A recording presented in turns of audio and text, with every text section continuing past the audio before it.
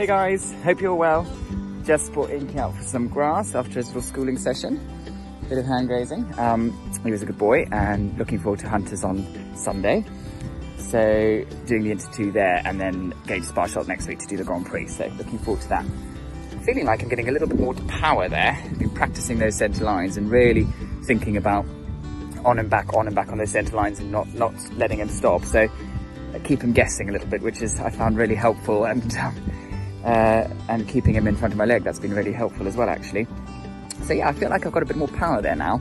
Um, whereas before I was thinking, oh, are we going to keep going through these tempi changes? Now I'm a little bit like, oh, can I stop at the end of them? new problems.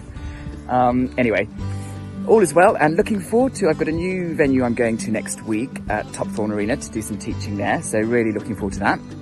Um, oh, it is really raining now, that's gross. Um, but um, still on the lookout for a rider's job. So loving my teaching and it's great to great to keep going with my clients that I have and building new clients. And um, in the meantime, still still keeping my eyes open for for potential rider's position um, somewhere. Who knows? So if anyone knows of anything, let me know. Get in touch. um, anyway, I hope you guys are all really well and speak soon. Take care.